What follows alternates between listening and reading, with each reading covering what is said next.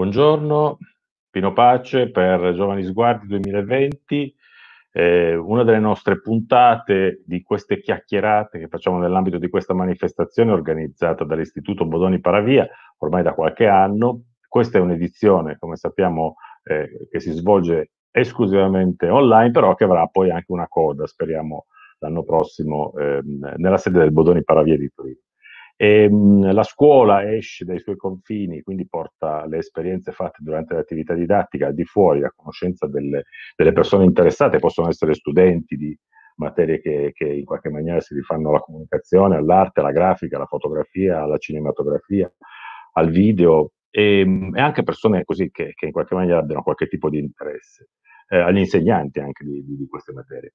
E, ehm, mh, oggi siamo eh, qui con Camera, l'Istituto Italiano per la Fotografia, ehm, però volevo far dire anche due parole a, ad Arianna Polla, della quinta B tecnico del, del Bodoni Paravia, che ci parla un po' di, di questa attività di Giovani Sguardi. Ecco, lei ha lo sguardo all'interno dell'istituzione, quindi sa come funziona, sa che cosa hanno fatto, sa che cosa hanno progettato, è quello che stiamo facendo, per cui Arianna.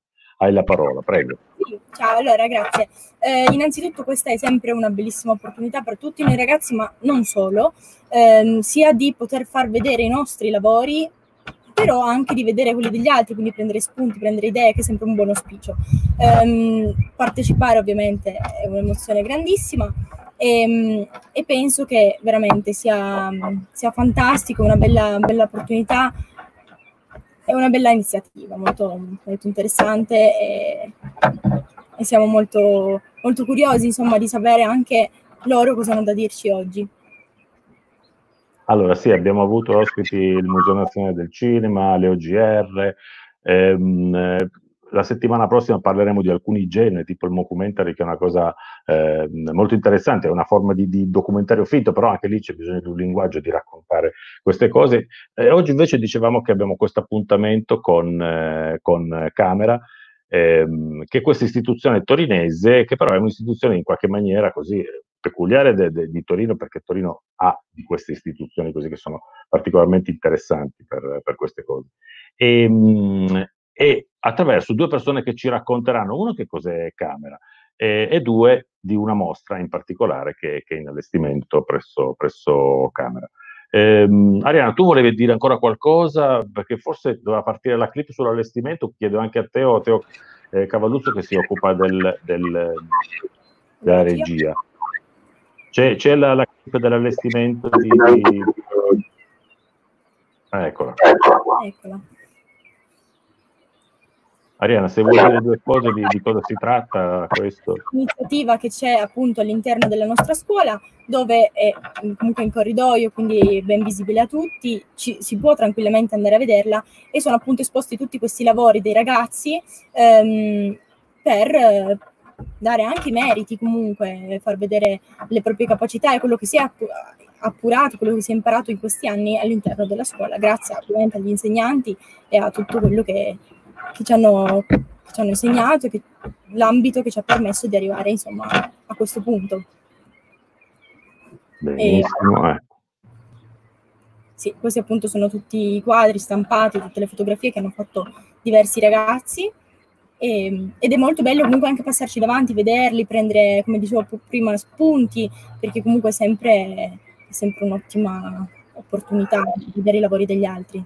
Sì, sì, no, secondo me è anche molto interessante, dico ancora due parole, poi davvero cominciamo. Eh, io sono un ex studente del Bodoni, ma il fatto di, e, e quando c'eravamo noi, diciamo, facciamo le attività di ripresa, poi di stampa eh, delle fotografie, mancava un po' questa attività, diciamo, anche di far vedere quali sono i nostri lavori in giro. Avevamo, c'erano delle vecchissime fotografie che chissà che epoca risalivano, no, che stavano lì da chissà quanto tempo, nessuno più sapeva che cosa. Adesso invece eh, mi piace molto che c'è questo momento in cui uno impara a fare delle cose, poi in qualche maniera le restituisce, le mostra agli altri e poi il giudizio degli altri, lo sguardo di altre persone è sempre un momento molto interessante, come stanno i nostri amici di Camera. In più ci sono, sviluppa delle altre capacità che sono anche quelle di, del racconto all'interno delle immagini che uno magari ha ripreso durante l'anno, durante la, la, la, sua ricerca e che devono essere disposte in una certa maniera, quindi cose di cui si occupano anche i nostri ospiti. Quindi non perdiamo altre parole, grazie Arianna, ma poi con te ci rivediamo perché, ecco, se qualcuno avesse voglia di fare delle domande, naturalmente eh, è auspicabile e fatelo pure senza problemi su, su, per esempio su Facebook c'è la possibilità di farlo e anche sul portale di, del Bodoni Paravia che, di Giovanni Sguardi che, che appunto manda questi, questi, questi appuntamenti diretti dove è possibile anche rivedere questi appuntamenti. Quindi Camera, Centro Italiano per la Fotografia, abbiamo due ospiti che sono Cristina Araimo che è del Dipartimento Educazione di Camera, e Monica Poggi, che è il Dipartimento Mostre di Camera. Eh, cominciamo con, con, Cristina, Cristina Raimo, Dipartimento Educazione, che ci racconta che cos'è Camera ehm, e perché può interessare Arianna, ma anche me, diciamo, un pubblico vasto. Grazie. Cristina, prego. Grazie, grazie Pino, grazie molte, buongiorno, grazie per, per questo invito eh, a partecipare in questa iniziativa bellissima grazie a Mauro Minozzi, che è il professore dell'Istituto Bodoni Paravia, per averci invitato. E mi fa molto piacere ovviamente essere qui a, a avere questa occasione quasi unica di parlare direttamente con una platea uh, di, di, studenti. E mh, mi fa piacere perché mh, Camera è una realtà tutto sommato giovane e non è scontato che appunto tutti gli studenti che sono in ascolto la conoscano. Il prossimo primo ottobre festeggeremo il nostro quinto compleanno, quindi siamo veramente giovani e, ed è una realtà che è nata proprio con un obiettivo preciso, quello di eh, dotare Torino prima di tutto, ma l'Italia poi, di un luogo che fosse deputato alla fotografia.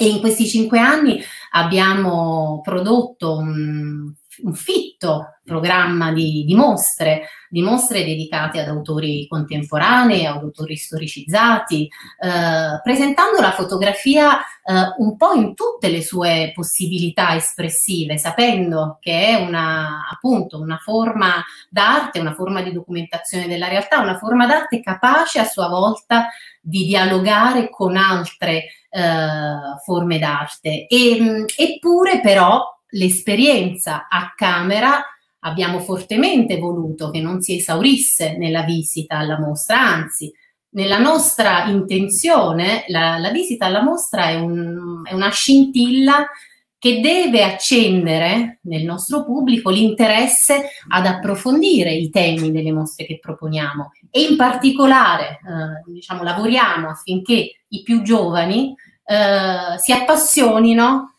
ai protagonisti delle mostre che proponiamo. E quindi questo come succede? Innanzitutto progettiamo delle attività educative rivolte alle scuole, quindi noi di solito parliamo direttamente con, con le scuole i docenti e pensiamo ad attività educative che in qualche modo servano a eh, approfondire i temi delle, delle, mostre in corso. E eh, ovviamente la, la, l'attività si svolge con una uh, mostra, con la visita alla mostra iniziale e poi delle attività di laboratorio che hanno un preciso obiettivo, che è quello di far capire ai ragazzi come l'arte, la fotografia in questo caso, uh, sono ovviamente delle forme espressive bellissime, affascinanti, ma ci parlano sempre della nostra e della loro eh, contemporaneità della loro quotidianità. Quindi ogni attività educativa, quindi parlo nello specifico dei laboratori, quindi cosa fanno gli studenti quando vengono, vengono a Camera? entrano in un dibattito, in un dialogo aperto con i nostri mediatori culturali e eh, approfondendo e, e, e, e, dibattendo sui temi che le mostre inevitabilmente sollevano. E mi fa piacere dire anche che in questi anni abbiamo attivamente eh, collaborato con, con, le scuole, in particolare le scuole come eh, l'Istituto Bodoni Paravia, dove i ragazzi hanno deciso di studiare, di approfondire il loro percorso di formazione intorno uh, alla comunicazione, all'audiovisivo, all'immagine e con loro in particolare abbiamo attiv- attivato dei percorsi di alternanza scuola-lavoro. Mi ha fatto piacere vedere prima le immagini di allestimento della mostra che è sempre un momento molto emozionante e nelle nostre attività di alternanza scuola-lavoro abbiamo coinvolto gli studenti accompagnandoci in quei momenti che il pubblico non vede, che sono i momenti del disallestimento e dell'allestimento di una mostra, che sono momenti in cui si impara veramente tanto, eh, in cui eh, si vede come, come, nasce una mostra, no? si partecipa a questo momento eh, così, così, suggestivo e quindi coinvolgendoli e, cercando di dare, di, la, di dare loro degli, mh, degli input pratici uh, su quello che poi eventualmente può diventare anche un percorso, un percorso professionale.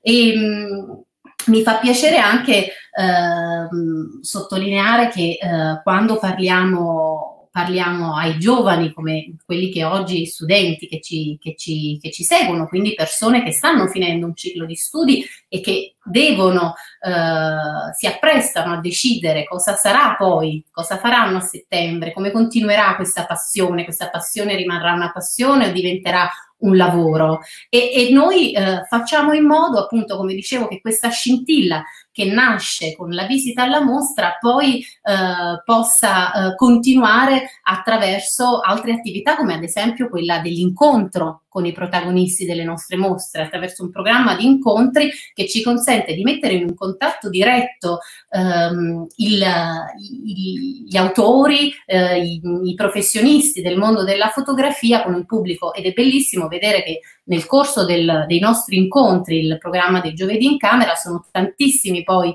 i ragazzi che si fermano a, ehm, a chiedere informazioni ai, a chi viene a raccontare la propria esperienza, magari un fotografo affermato, un fotografo nazionale, internazionale, da cui è interessantissimo per loro sapere come è iniziato, quali sono stati i primi passi, ehm, quali sono stati quei, quei, quei, quei momenti cruciali no? che hanno, hanno dato la svolta.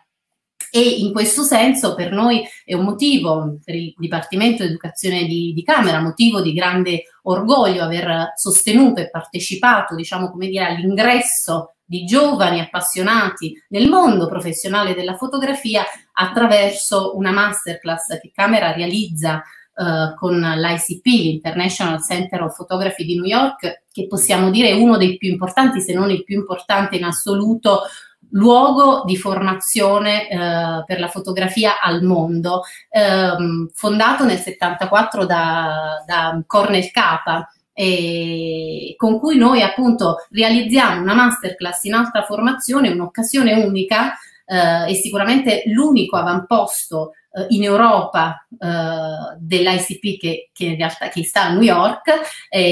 Abbiamo accolto in questi cinque anni un numero molto ampio di studenti provenienti da Torino, ma da tutta Italia e da tutto il mondo, devo dire, perché eh, è veramente un'occasione unica quella di avere la possibilità di formarsi in maniera molto eh, specialistica sulla fotografia, su tutte le sue possibilità espressive, su, su tutte le sue eh, diciamo, implicazioni anche tecniche, con il supporto di docenti americani che vengono solitamente eh, a Torino per un mese intero e quest'anno invece, a causa delle ovvie limitazioni agli spostamenti dovute all'emergenza sanitaria, questa masterclass sarà online in una forma più ridotta, ma comunque abbiamo voluto conservare una continuità. E questo per noi è stato, uh, questa esperienza con, la, con l'ICP è stata ed è, continua ad essere, un motivo di, di, grande orgoglio perché abbiamo visto nascere, abbiamo visto i primi passi no, nel, nel, mondo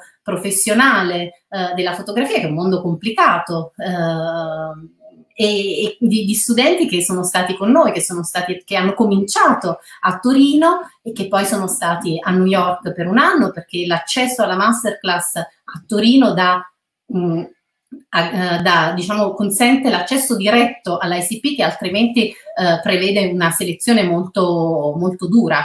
Quindi la, la, partecipazione alla masterclass di Torino consente automaticamente la possibilità di iscriversi uh, all'ICP di New York. E quindi questo per noi, dicevo, è, stato, è, stata, è stata un'esperienza veramente bella, diciamo, un'occasione in cui si è concretizzato un, un, obiettivo. Um, quest'anno, ad esempio, uh, sarà con noi, presenteremo il lavoro di Lucia Buricelli, che è una giovanissima fotografa italiana che è stata, ha partecipato alla masterclass a Torino, poi è stata eh, a New York, quest'anno internazionale le ha pubblicato un bellissimo lavoro che lei ha fatto di documentazione della sua quarantena nella sua casa milanese con delle fotografie eh, mol- molto belle, molto divertenti anche, nonostante eh, il momento, molto, molto Martin Parr oriented, ma comunque eh, una, una, una, sua, diciamo,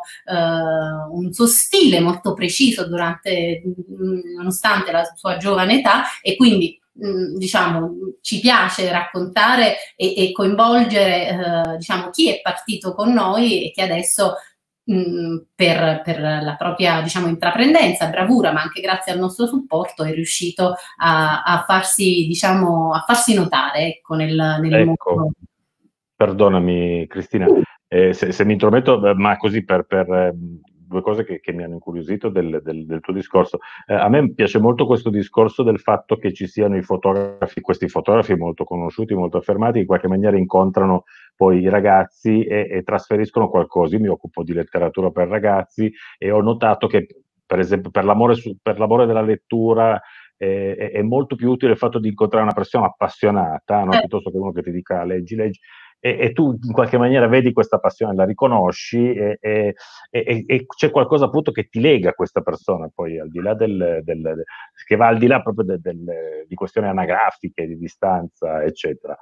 allora io guarda, ti farei soltanto una cosa, eh, se mi permetti naturalmente, eh, cederei la parola un attimo a, a Cristina Raimo così ci introduce subito a uno di questi personaggi, a uno di questi artisti che, di cui stavi parlando, poi magari riprendiamo un attimo il tuo discorso verso la fine, cioè verso la fine, a, a metà della chiacchierata e puntualizziamo anche due o tre cose. A me piacerebbe per esempio sapere... Eh, questi ragazzi, ma anche noi ormai viviamo tutti quanti immersi in un mondo di immagini impressionante noi produciamo una quantità di fotografie che una volta avremmo prodotto nostro, in una settimana, facciamo le fotografie che avremmo fatto in un anno probabilmente, no? ecco, e poi le mandiamo in giro, le riceviamo delle, in tutte le maniere, ecco, però poi c'è camera, no? che in qualche maniera dice sì, ci sono tutte queste cose, ma c'è anche maniera per raccontare queste cose, per sistematizzarle, per renderle un'altra cosa rispetto sì. a questo fiume. Sì, sai, eh, Pino, prima dicevo a proposito dei percorsi di, eh, per le scuole, quello che, su cui noi battiamo tanto non è tanto la formazione tecnica, quanto quella che certo. piace chiamare l'educazione all'immagine. Certo. Che cosa vuol dire? Vuol dire imparare a codificare un linguaggio, cioè siamo tutti d'accordo che la fotografia è il linguaggio contemporaneo per eccellenza, un linguaggio trasversale, comprensibile a tutti, ma non codificabile da tutti. Quindi l'educazione all'immagine a cosa serve? Serve a leggere in maniera consapevole l'immagine e a in, qualche modo riuscire a interpretare la contemporaneità in una maniera più critica e, e, e imparare una lingua e imparare a, a, conoscerla, ad utilizzarla, quindi a produrla, ma anche a esserne fruitori. Noi qualche anno fa, a proposito di questa, di questa sovrabbondanza di immagini da cui siamo quotidianamente diciamo, bombardati, abbiamo ospitato la bellissima mostra di Eric Kessels, il quale ha letteralmente inondato con una sua opera che si chiama 24 Hours eh, i corridoi e una stanza di camera con una montagna di fotografie, no? Era la materializzazione di quello che tu stai dicendo, una montagna di fotografie che teoricamente sono le fotografie che la rete o un social media, non mi ricordo quale, produce eh, in un giorno. No? E, e, quindi, e, e, abbiamo sottolineato in quell'occasione, grazie anche al linguaggio eh, e al lavoro di, di Kessels, come questa, diciamo, questa questa sovrapproduzione di immagini oramai ci riguarda sempre più, sempre più da vicino e quindi sempre più urgente mh, renderci eh, consapevoli eh, di come, di quali siano gli strumenti utili a muoverci in questo diciamo oceano di immagini in una maniera un pochino più critica. Certo, certo. Ecco, infatti, allora, ehm, sicuramente eh, uno di queste persone che in qualche maniera ha, ha, la sua maniera peculiare di raccontare la fotografia, di raccontare poi le, la vita, le, le cose, no? attraverso la sua sensibilità, attraverso la tecnica, ma anche la sua sensibilità, ehm, sicuramente è Paolo Ventura. E questa mostra che ci sarà, dimmi se, se, ho detto bene, Monica Poggi, in autunno, che si chiama Carousel, appunto, e ce ne vuoi parlare un po' di cosa si tratta e, e che lavoro fai tu naturalmente all'interno di questa mostra? Volentieri, grazie Pino. E intanto sono molto contenta di essere qua e a, parlando di Paolo Ventura proprio perché eh, credo che il suo percorso legato al mondo della fotografia sia uno dei percorsi più particolari e più interessanti da seguire. Eh, Paolo nasce nel 68 a Milano e si iscrive all'età del, dell'università in accademia senza finirla. Eh, lui si, si, avvicina al mondo della pittura per uh, quasi ragioni familiari, nel senso che il padre è un illustratore di libri per bambini e quindi il disegno, la pittura ce l'ha veramente nel sangue, ma si rende conto che quella non è la sua strada. Uscito dall'accademia si eh, avvicina al mondo della fotografia pubblicitaria, ma pure quella non, non sembra essere la sua strada. Allora eh, abbraccia il mondo della fotografia di moda, che ancora una volta si rivela non essere la, la scelta giusta, finché a inizio anni 2000 si trasferisce a New York e inizia il suo percorso di ricerca utilizzando la fotografia, ma utilizzandola in una, in una maniera particolarissima, nel senso che eh, lui si rende conto di un limite della fotografia, e, che è quello della realtà, di essere legato alla realtà, ma il suo estro fantasioso e creativo vuole andare oltre, quindi inizia a creare delle storie e a metterle in scena attraverso dei burattini, dei pupazzetti. Infatti se adesso mandiamo la fotografia, la prima fotografia, vedete il suo primo lavoro effettivamente compiuto, in cui eh, Paolo mette in scena i ricordi della nonna. E questo sarà appunto uno dei lavori che avremo in mostra e eh, di fatto la fotografia è utilizzata per eh, raccontare una scena che lui ricrea in maniera teatrale quindi c'è una manualità molto grande. Dicevo appunto che sono molto contenta di parlarne proprio perché il suo lavoro mette insieme fotografia, ma mette insieme anche un aspetto scultoreo, un aspetto pittorico, eh, c'è tanto teatro nelle sue immagini, quindi credo che mh, mm, chi verrà a vedere la mostra sarà sorpreso eh, da quanto un museo di fotografia possa uscire eh, dalla macchina fotografica in senso stretto. Nelle sale infatti noterete che ci saranno eh, diverse opere molto, molto, poco fotografiche in realtà, eh, molto legate ad esempio al mondo della, eh, della ricerca di un'identità. Infatti Paolo, sempre come dato anagrafico fondamentale sua, nel suo percorso artistico, eh, c'è il fatto di essere un gemello e quindi eh, molto della sua ricerca si struttura su, su, delle questioni identitarie. Lui racconta che da bambino eh, subiva spesso la domanda chi sei tu, eh, che era posta ovviamente nel senso di chi sei tu, Paolo o Andrea, il fratello gemello, ma che lui interpretava in una maniera esistenziale quasi.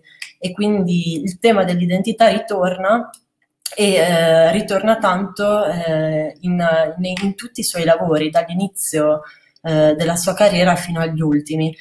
Una cosa caratteristica della mostra che avremo a camera è che si tratta di una personale, quindi comprenderà solo le sue opere, eh, ma non sarà una vera e propria antologica, nel senso che eh, avremo tanti dei suoi lavori, non tutti chiaramente, anche perché Paolo è un artista che ha una produzione molto vasta e quindi vor- ci vorrebbero tre camere almeno per contenerle tutte, forse non basterebbe, eh, ma eh, abbiamo un percorso non lineare all'interno della sua carriera, quindi nelle varie sale avremo insieme opere più, più vecchie ad alcune opere più recenti, eh, con un, una certa eh, quantità di, di, installazioni particolari che infatti stanno mettendo a dura prova le nostre esperienze, ma che, che saranno veramente interessanti. Infatti abbiamo la seconda immagine che è un regalo di, di, Paolo, di fatto che Paolo ha fatto camera, cioè sono eh, delle sorte di render in cui lui disegna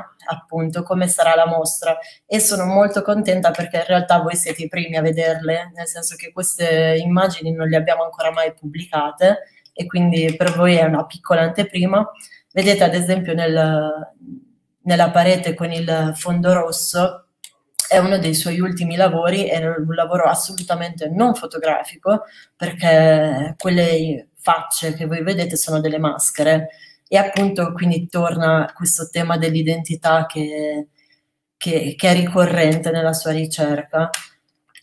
Ricorrente altrettanto è il tema del teatro. Eh, già il titolo di per sé è un'opera teatrale per cui lui ha lavorato a Chicago, al teatro di Chicago, e il titolo della mostra intendo Carousel, ma eh, la frequentazione col mondo del teatro è ricorrente. E già qualche anno fa ha fatto una collaborazione col Teatro Reggio di Torino eh, pensando all'allestimento dei pagliacci nella seconda sala, infatti, noterete dalla prossima immagine che avremo un'installazione molto molto immersiva.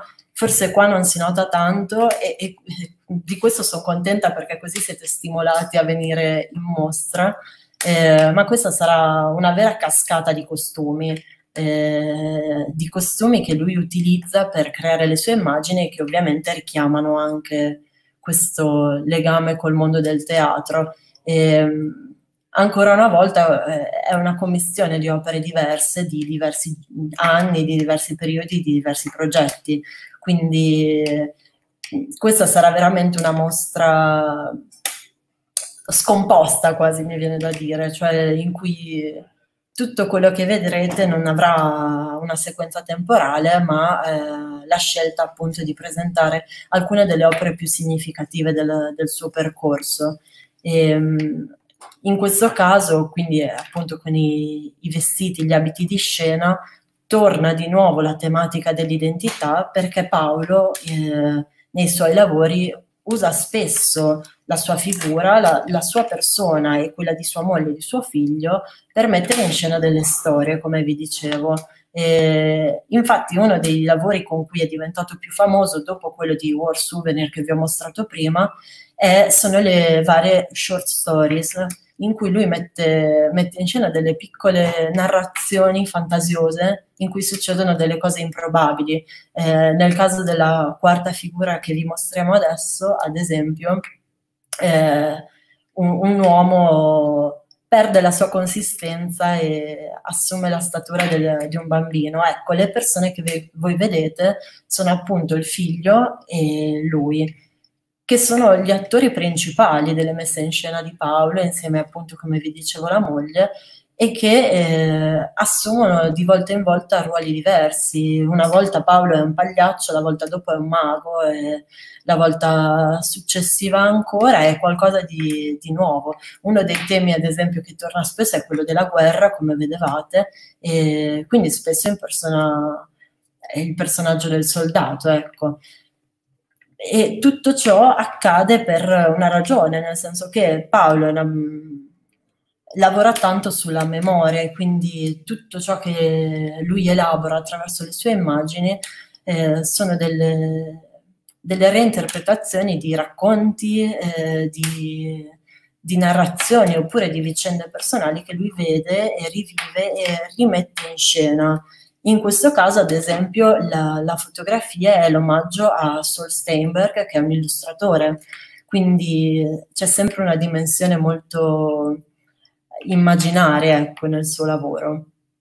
Eh, non vi mostro le altre sale anche perché eh, non vogliamo spoilerarvi troppo, però la, vi posso raccontare ancora che eh, ci saranno altre installazioni scultoree eh, perché eh, molto spesso Paolo per realizzare le sue immagini non solo costruisce, come in questo caso che state vedendo, dei set teatrali, ma costruisce proprio fisicamente delle strutture, che spesso sono delle case, che poi fotografa e ripropone all'interno di un paesaggio che eh, si smaterializza, nel senso che eh, una direzione che sta prendendo la, la ricerca di Paolo è appunto quella di eh, utilizzare la fotografia ma coprirla in certi casi.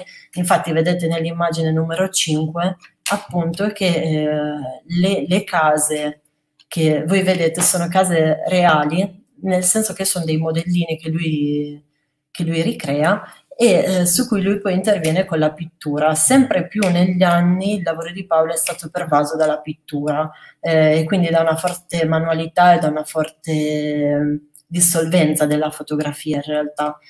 Questa pittura tornerà anche in mostra camera eh, perché buona parte del, dell'installazione verrà fatta fisicamente da Paolo. Noi non avremo i classici testi eh, scritti con i prespaziati che si usano normalmente nei musei, che rendono tutto molto pulito e molto asettico, ma avremo la scrittura a mano eh, dell'autore. Quindi questa qua sarà veramente una mostra in cui si sperimenterà tanto a camera e si uscirà un po' dagli schemi tradizionali del mondo fotografico. Ecco, sì, eh, scusa, permettimi se ti interrompo.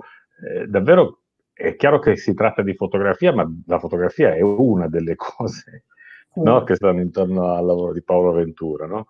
Eh, no, mi sembra estremamente interessante. Sì. Eh, c'era Arianna forse che aveva una domanda che sta arrivando dalle persone che ci guardano. La, Arianna, mi confermi questa cosa? Sì, sì, esatto. Allora, Perché... prego, falla eh, sì, se ne, nell'installazione della mostra, quindi l'artista fornisce a un grande contributo?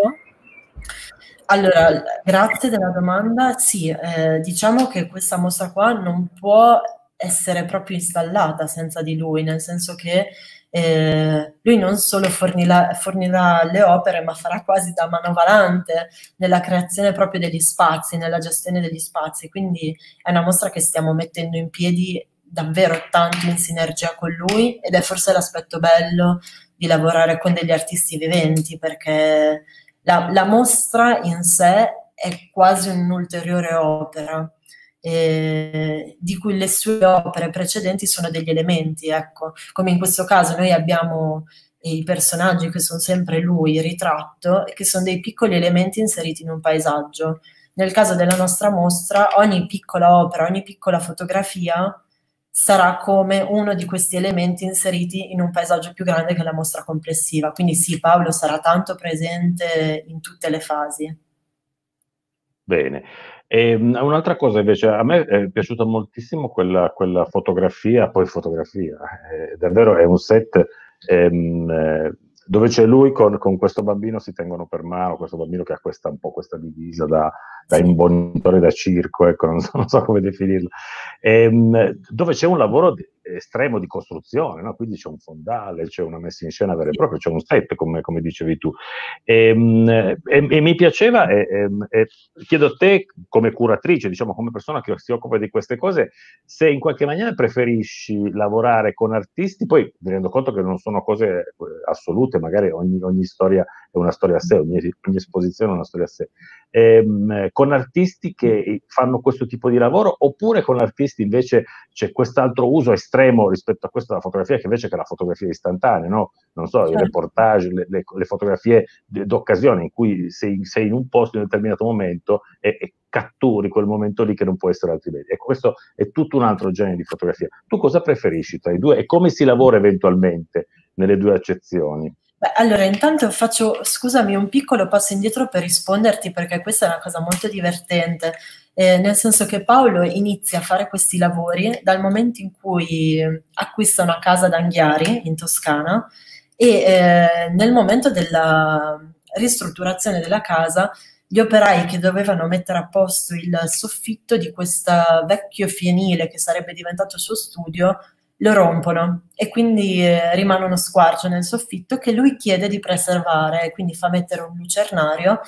E, di fatto questa, questo vecchio fienile diventa quasi casualmente il set perfetto, perché quella luce che voi vedete in quelle immagini lì è dovuta proprio a questa situazione di, eh, architettonica. E quindi queste sono opere quasi che nascono da, da, un, da un piccolo incidente di ristrutturazione e voi vedrete, se, se, andate a cercarlo su internet, che questa pavimentazione fatta di assi di legno rimane e poi cambia il fondale dietro. Eh, quindi c'è anche una... mi piaceva raccontarvelo per entrare un po' anche nello studio.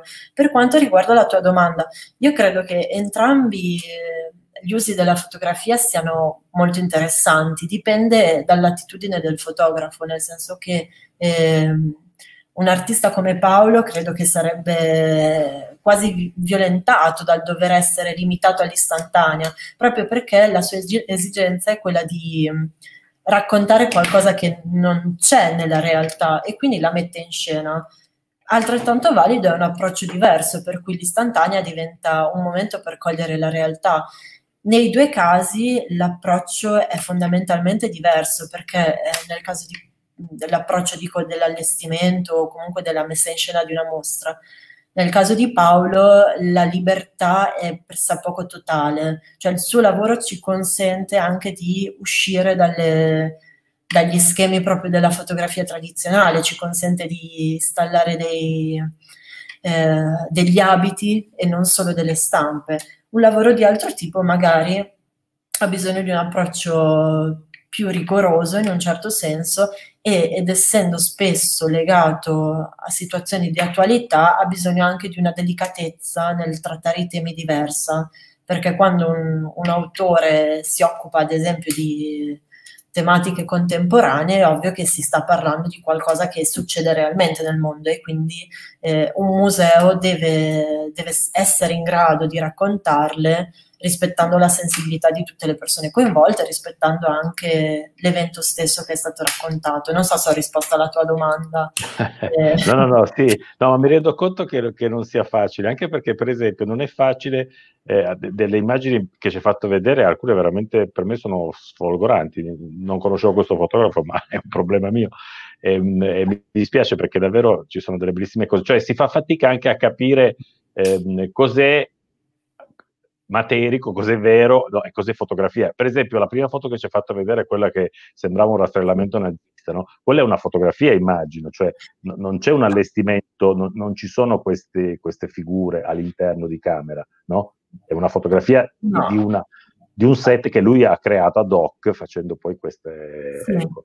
Sì, no, questa perché... è una stampa, effettivamente, cioè sarà una stampa, quindi una stampa. la vedrete come una fotografia tradizionale, anche se ovviamente forse da video si vede meno, ma...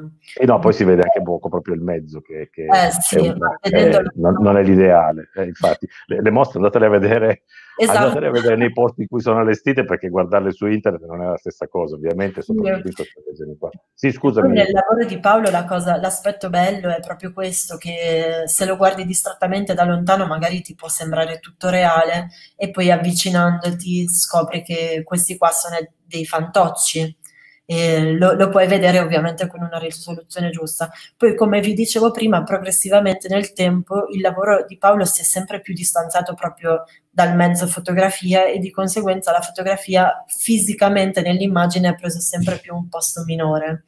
E, e, quindi troviamo tantissima campitura di colore, di pittura e dei piccoli elementi fotografici che secondo me eh, rendono ancora più interessante il suo lavoro perché e qua si inverte quasi la questione. Se prima pensavi di vedere una fotografia e poi ti rendi conto che in realtà questo qui è una messa in scena, eh, negli ultimi lavori pensi di trovarti di fronte a un dipinto e poi avvicinandoti ci sono degli elementi iperrealistici che sono quelli fotografici. Certo, quindi... come, come, anche in questa foto, sempre questa qui del rastrellamento, c'è questo, questa illuminazione che a me sembra davvero un'illuminazione teatrale, no? non è realistica come illuminazione. Anche lo, avevo intuito che fossero dei fantocci, anche se non ero sicuro, ecco, però in qualche maniera così. E poi, se mi permetti, c'è, c'è una cosa che a me piace molto è questo, adesso le mie reminiscenze di studi, perché ormai risalgono a qualche decennio fa, per cui magari dico delle stupidaggini, al punctum di cui parlava Roland Barthes, no? questa bicicletta buttata per terra, questo cappello per terra, che mi, mi piacciono molto, cioè veramente danno, nella, nella in realtà però pensiamo a quella situazione, quanto potesse essere reale per le persone che la vivevano. Secondo me, davvero, se uno pensa di vivere quelle situazioni lì, davvero ci sono degli elementi surreali. No? Uno non può pensare di essere sbattuto a muro da dei militari armati no? e perquisito e magari anche fucilato. Davvero, quindi, non lo so, è, è, una foto molto, molto potente, molto forte che a me piace molto. Poi yeah. la finisco qua.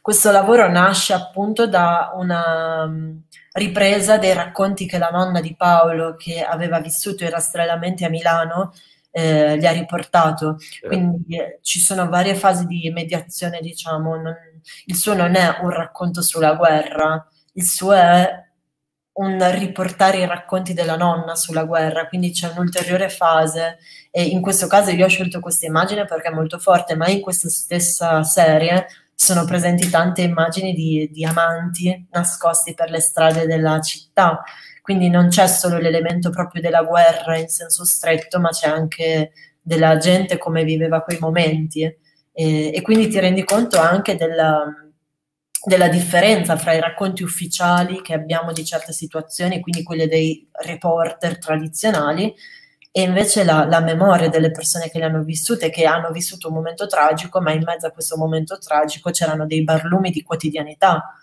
E, quindi, quindi, questo rafforza di più. Ovviamente in questo caso ve ne potevo mostrare poche, quindi ne ho scelta una.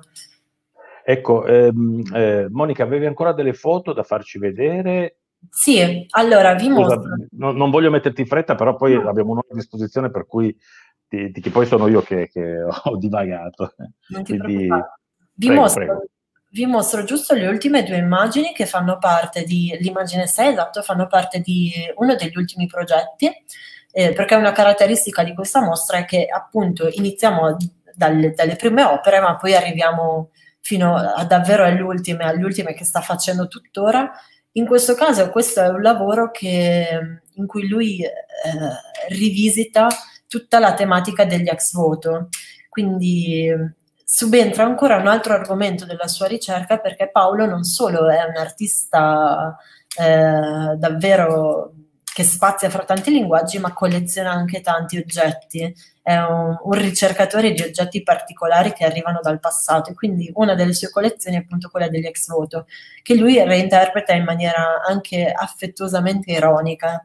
Eh, quindi vediamo questi, queste scene eh, bizzarre, strane, in questo caso questo coniglio gigante che potrebbe essere in procinto di mangiare il mago. Oltretutto il l'abito che Paolo indossa verrà esposto nell'altra sala appunto con gli abiti, quindi c'è anche una, molti collegamenti interni alla mostra e nella prossima immagine, sempre questa qua eh, della serie di Grazia ricevuta, sempre un altro ex voto contemporaneo in cui questo uomo viene mangiato da questo pesce.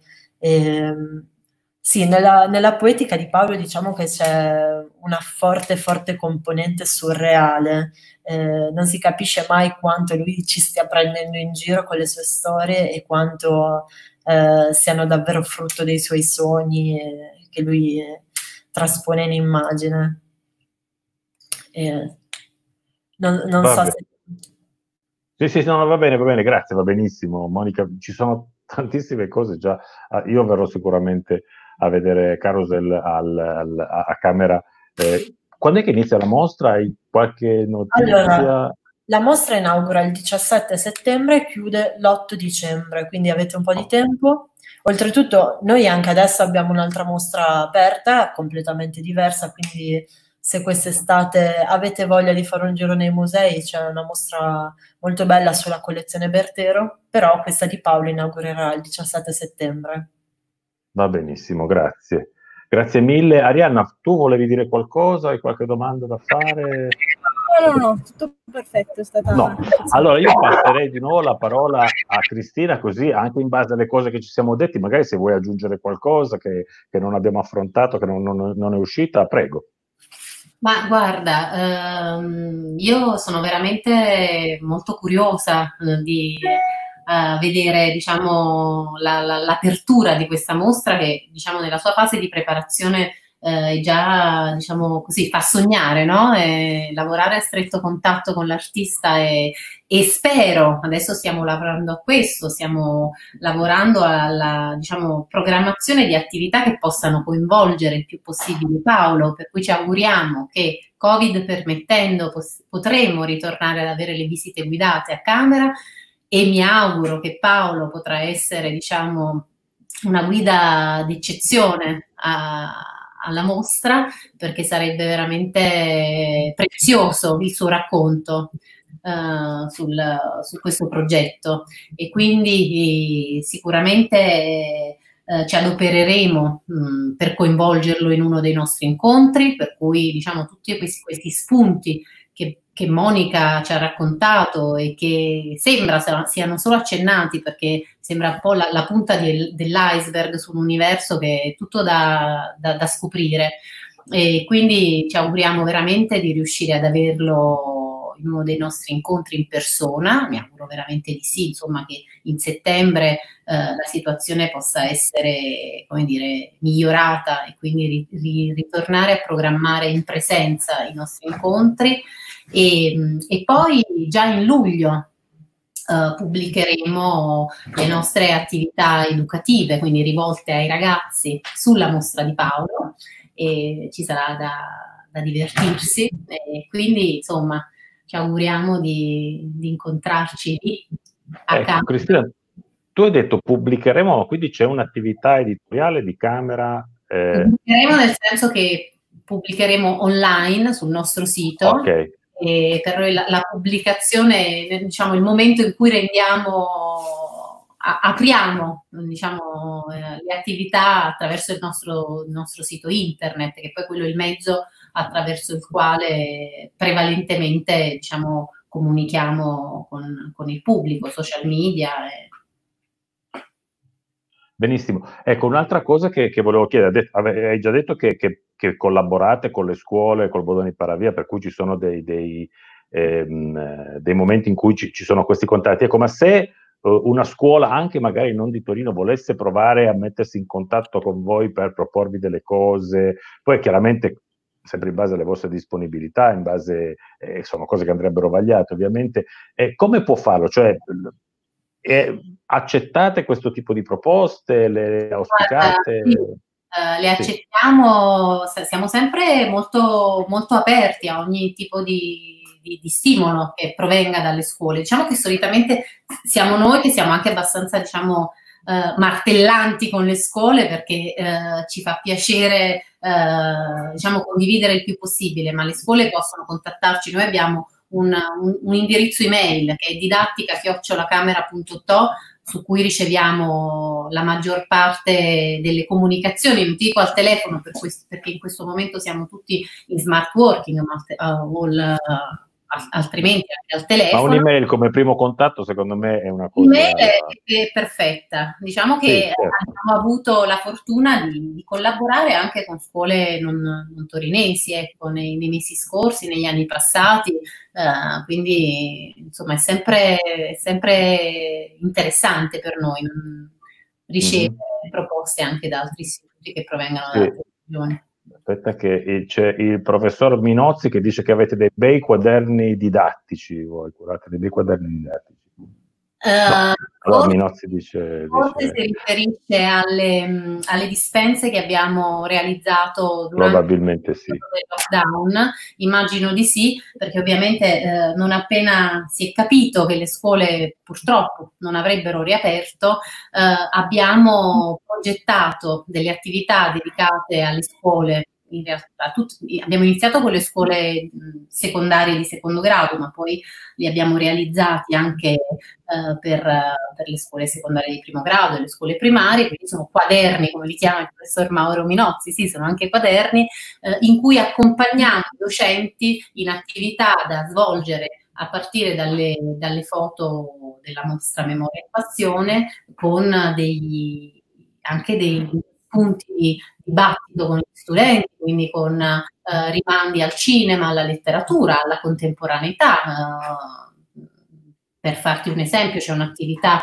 che ruota intorno alla, diciamo, alla fotografia di paesaggio e di architettura e, mm, e, c'è un rimando con un articolo e una e una, un servizio della CNN dedicata alla, alla riconversione dell'ospedale, mh, uh, alla, alla, alla, costruzione dell'ospedale di Wuhan durante la, la pandemia, che era la riconversione di un edificio deputato ad altro, deputato ad altro. Quindi abbiamo cercato di creare connessioni tra la fotografia e la contemporaneità. Per noi questo rimane uh, un, um, un, filo rosso, un filo conduttore fondamentale, cioè partire dalla mostra, partire dal lavoro degli artisti, degli autori, ma sempre per riflettere sulla, sulla contemporaneità affinché i, i, ragazzi possano anche capire e, e conservare no, il valore dell'esperienza dell'arte nella, nella propria uh, esperienza personale. Sì, sì, no, eh, questa cosa io mi trovi perfettamente d'accordo, anche perché davvero, ecco, per riprendere un po' il discorso, e poi davvero ci avviamo verso la fine dell'inizio, il fatto che noi facciamo e subiamo certe volte una gran quantità di fotografie, il fatto di provare anche a farle bene, che significa conoscere anche quello che hanno fatto le altre persone. No? Le, eh, quando la fotografia diventa un discorso, diventa una, un, un, riflettere sull'immagine, su che cos'è, e mi sembra che questa mostra sia una mostra in qualche maniera davvero paradigmatica in questo senso qua, e ci aiuti in qualche maniera anche a dire meglio le cose che abbiamo da dire, no? come quelli che leggono tanti libri alla fine riescono a, a, esprimere meglio quello che hanno in cuore, nel cuore. E, e, e così anche il fatto di, di conoscere, di, di, venire anche a vedere le mostre di camera, ci aiuta poi a fare meglio le fotografie, a godere meglio de, delle fotografie, delle immagini che, che, tutti i giorni abbiamo. A me è piaciuto molto e torno un attimo soltanto a Monica Poggi, questo discorso che facevi eh, di Paolo Ventura che non riusciva a trovare la sua strada, no? Eh, ecco, che, che, è una cosa che io lavoro un po' nelle scuole, ci bazzico, per cui che tanti studenti pensano di essere, ah, io sono, non valgo niente perché ho provato a fare questo, ho provato a fare l'accademia non ci sono riuscito, ho provato a fare questo non ci sono riuscito. C'è anche un'etica e un'estetica dello sbagliare strada che in qualche maniera poi ti può portare, lo so che è una domanda difficile e complessa, però ecco, lo chiedo a Monica e lo chiedo anche a Cristina che in poche parole ci può, ci può, può far poi trovare la nostra strada. Prego. Beh, allora, rispondo io intanto.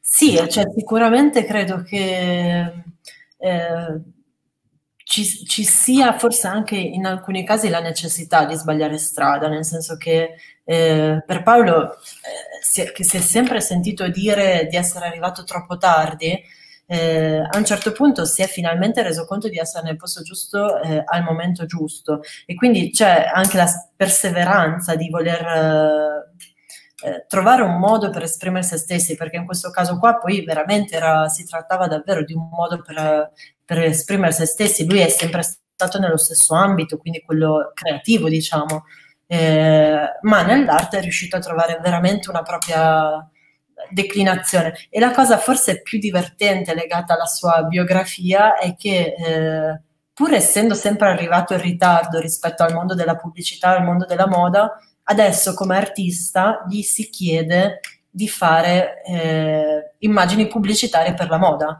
Quindi mh, non più lui che deve sottostare alle necessità di un brand, ma il brand che si affida al suo, alla sua poetica, al suo immaginario per raccontare se stesso. Ad esempio, lui ha fatto delle campagne pubblicitarie per Ulrich, quindi eh, veramente la cosa si è capovolta, nel senso che non è stato più lui a rincorrere quel mondo lì, ma quel mondo lì che ha rincorso lui proprio perché lui, attraverso la sua poetica, attraverso la sua ricerca, è riuscito a trovare eh, un modo per immaginare il mondo che è unico, che è riconoscibilissimo. Se vedi un'immagine di Paolo Ventura e sai chi è, eh, lo riconosci subito perché è proprio una certo. poetica identitaria forte, ecco.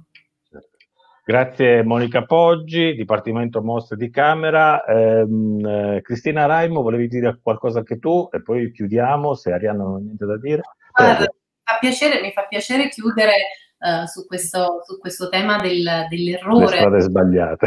sì. sbagliate, ovviamente, uh, insomma, avendo una, una platea di, di studenti eh, l'avranno, gliel'avranno detto mille volte che sbagliando, che sta, sbagliando si impara, però in particolare in questa eh, diciamo, professione mh, mm, mi fa piacere diciamo, citare eh, le parole di Paolo Pellegrin, che è un altro diciamo, autore importante italiano, un fotografo importante italiano, con cui eh, abbiamo parlato recentemente eh, proprio a proposito della, della della um, carriera no? di un fotografo, un giovane fotografo, e quindi gli chiedevo, ma se tu dovessi dare proprio due consigli, un consiglio mh, a, a, un ragazzo no? che ti chiede tu come hai fatto, e lui, e lui ha, ha, consigliato solo di, di, di, darsi tempo, di darsi il tempo per, per sperimentare, per sperimentare, per, per lavorare, prevedendo, prevedendo anche anche l'errore soprattutto per uh, non tirarsi il tempo, per non tirarsi mai indietro rispetto anche alle, alle concomitanze, alle casualità no? davanti a cui la vita, la vita ti, ti, mette. E, insomma, uh, darsi, darsi, da fare e, in, ogni, in ogni circostanza, senza anche pensare a volte uh, di, di essere arrivati alla, al risultato in tempi brevi, darsi tempo lavorando, lavorando sodo, no? anche perché uno quando pensa al fotografo, all'artista, pensa sempre all'immagine della, della sregolatezza, invece è tutt'altro. Quello che io ho imparato in questi anni di lavoro a contatto con, con gli artisti è che sono le persone più rigorose e più disciplinate eh, che, che si possa immaginare, a volte con una disciplina tutta loro, fatta di regole molto personali, ma di regole eh, di, di, obiettivi precisi. Quindi... Sì, sì, ma su questa cosa Stephen King ha detto delle parole illuminanti, secondo me. Lui dice anche un grande scrittore che vomita ai lati di, una strada è soltanto un alcolizzato, no? lui ha, un, ha, avuto anche un'esperienza diretta peraltro. Per cui sì, no, molte volte si, si, si hanno soltanto diciamo, i, i, i vizi de, dell'artista, no? tutte quante le cose, quindi droghe, eh, alcol, eccetera, e dopodiché c'è pochissimo lavoro. Invece gli artisti erano anche questo, oltre a tutto quanto il resto. Quindi molto lavoro e poi magari anche eccessi. Oppure poi i geni sono i geni assoluti, per cui sono al di fuori di ogni categorizzazione, però lì veramente parliamo di, di persone eccezionali che nascono una volta ogni tot. Um, Arianna, volevi dire qualcosa? Tu andrai a vedere la mostra, vero? Ormai sarai maturo, avrai finito la scuola, quindi avrai molto tempo libero. Ecco, quindi la mostra la vai a vedere. Vuoi dire qualcosa? Io non ti sento però. Adesso mi senti meglio? Benissimo. Non so se voi, senti... voi sentite? Poco. Poco. No, non so come mai. Va bene, Arianna, ci salutiamo allora sì, perché tanto chiudiamo qua, grazie. Grazie Arianna, allora grazie Cristina Araibo, grazie, grazie a di camera, Carousel è la mostra che ci sarà da, nell'autunno, guardate sul sito. Settembre. Quando scusa? 17 settembre inauguriamo, apriamo. 7 o 17? Non ho capito. 17. 17 settembre, quindi 17 settembre si inaugura, dopodiché va avanti fino a quando? 8 dicembre. Ok, fino all'8 dicembre, quindi a Camera sta a Torino, ma gli indirizzi li trovate eh, online. Questa, questa, questa, trasmissione, questa cosa che abbiamo fatto oggi, la trovate anche online sugli spazi di Giovani Sguardi. Eh, ci vediamo lunedì, aspettate che devo, devo fare anche il lancio della settimana prossima. Lunedì avremo 8 giugno, ecco, avremo un appuntamento con Luigi Barletta, che è un docente universitario dell'Accademia delle Arti di Napoli, che ci parla di un genere che è il mockumentary, cioè il documentario fitto documentario che sembra un documentario vero e invece racconta un di frescacci. Vi ringrazio molto, eh, grazie a tutti quanti, grazie a Teo Cavalluzzo, grazie a Arianna Polla e grazie a Camera. Ci vediamo la settimana prossima. Arrivederci. Ciao. Ciao. Ciao.